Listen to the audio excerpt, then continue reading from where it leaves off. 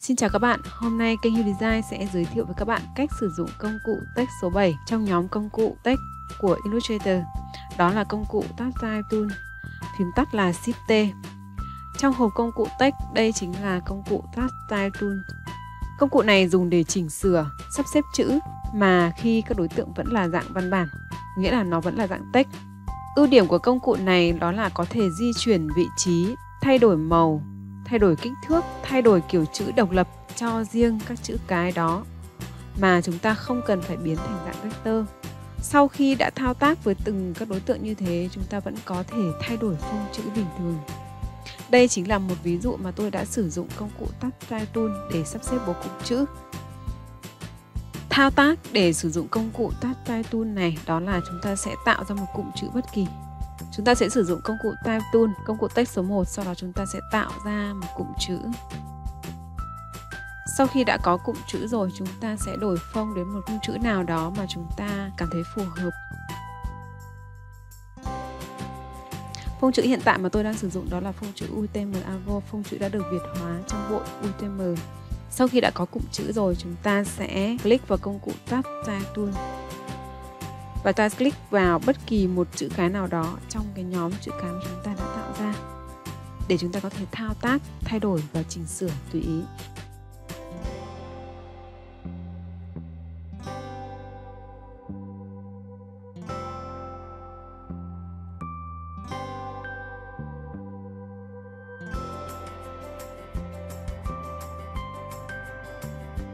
Khi các bạn thay đổi vị trí cũng như là thao tác với từng chữ cái thì các bạn thấy rằng các chữ cái phía sau nó sẽ được tự động đi theo cái chữ cái phía trước đấy mà chúng ta đang thao tác.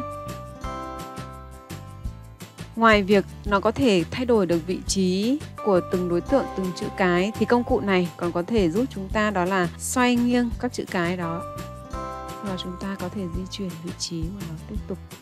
Hoặc chúng ta cũng có thể đổi màu cho từng đối tượng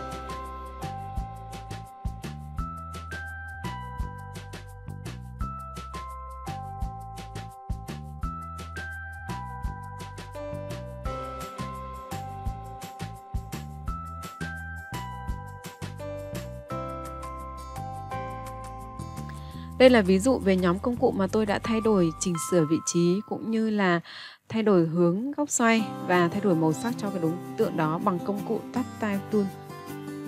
Với công cụ này khi chúng ta đã thay đổi vị trí đối tượng như này rồi, chúng ta vẫn có thể đổi phông cũng như thay đổi kích thước của phông chữ bình thường. Chúng ta click chọn vào đối tượng, ví dụ như bây giờ tôi sẽ thay đổi phông chữ của nó. Đây các bạn sẽ thấy nó thay đổi đến các phông chữ như chúng ta đã thao tác trước đó bình thường chúng ta cũng có thể thay đổi định dạng của nó. Ví dụ vô chẳng hạn. Hoặc chúng ta cũng có thể thay đổi kích thước to nhỏ của đối tượng text đó như các text bình thường. Như vậy là chúng ta đã tạo được một bố cục chữ. Tuy nhiên, để kéo được chân chữ của đối tượng dài như thế này thì chúng ta sẽ phải biến đối tượng đó trở thành đối tượng convert bình thường, nghĩa là đối tượng vector. Và thao tác để biến một đối tượng từ text trở thành một đối tượng vector bình thường thì chúng ta sẽ sử dụng lệnh sau. Đó là chúng ta sẽ vào type sau đó lựa chọn đến create outline phím tắt của nó là Ctrl Shift O. Create outline là lệnh để chúng ta biến đối tượng text trở thành đối tượng vector. Phím tắt là Ctrl Shift O. Sau khi tôi sử dụng lệnh create outline thì các bạn sẽ thấy đối tượng chúng ta ban đầu là text nó có phông chữ, có định dạng chữ, có kích thước chữ thì bây giờ đã, đã trở thành một đối tượng vector. Sau đó chúng ta sẽ sử dụng chuột trắng A để kéo và gióng các cái chân chữ này cho bằng với nhau. Tôi sẽ lựa chọn ba chân chữ R, P và Y. Và chúng ta sẽ sử dụng lệnh căn gióng đều bên dưới. Như vậy là chúng ta đã tạo được một bố cục chữ sử dụng công cụ Tab Tool và một số các thao tác khác. Ở bên dưới này tôi có thể bổ sung thêm một cụm chữ nhỏ để tạo bố cục chữ.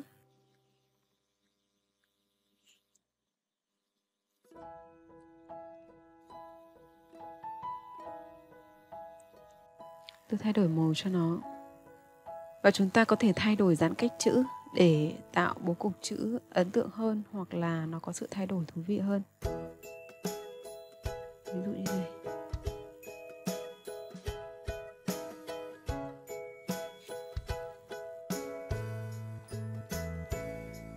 Với công cụ Tắt Style Tool, công cụ T số 7 này chúng ta cũng có thể tạo ra nhiều các bố cục chữ khác nhau. Ví dụ bây giờ tôi sẽ tạo ra một bố cục chữ khác.